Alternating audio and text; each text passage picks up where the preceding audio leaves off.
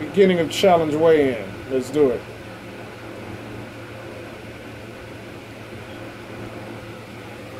Two eighty eight point eight.